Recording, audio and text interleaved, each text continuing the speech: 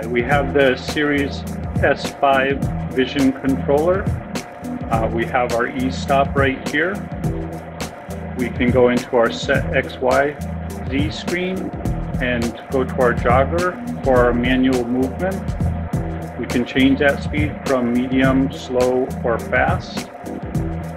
Uh, we also have the option to set origin and set the surface.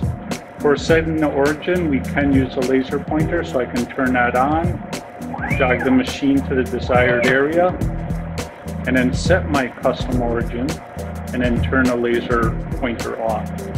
The sense option here is for using the optional surface block, and we'll go back.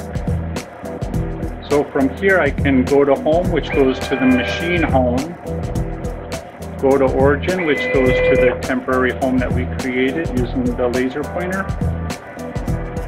And then utilities. For utilities, we have a few options here. Main one being go to limits to reset the limits of the machine.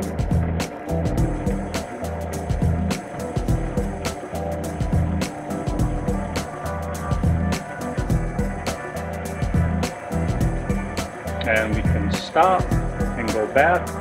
And finally, for power down, we can come to the utility screen and then power off.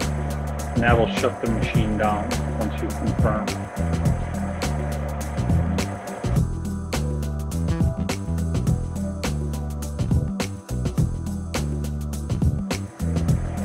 Okay, I'm gonna send a job over to the pendant.